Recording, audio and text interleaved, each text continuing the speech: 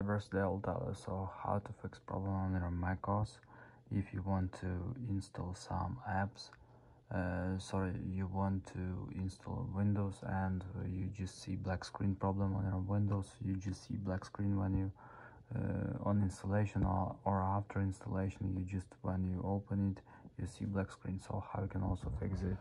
So you can also fix it with this app. So here you can see it. You just need to install it after you just need to tap on your volume windows. After just choose your windows here just tap on system 32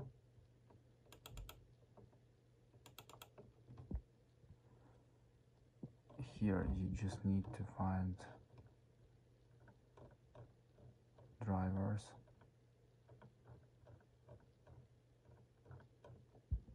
so let's just scroll down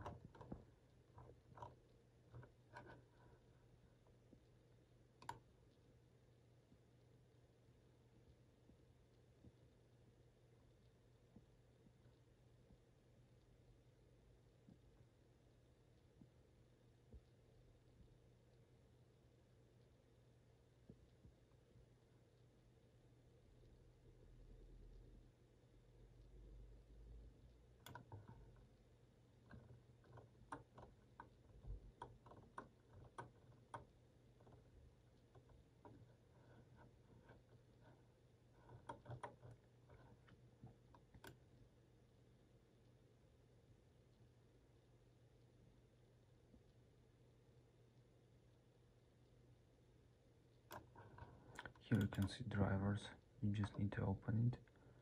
And in the drivers you just need to remove this file. So here you can see it.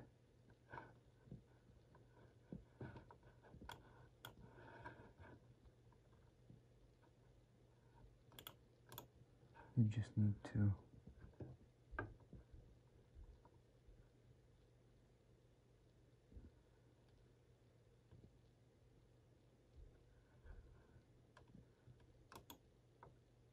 remove it. So thanks for watching, goodbye.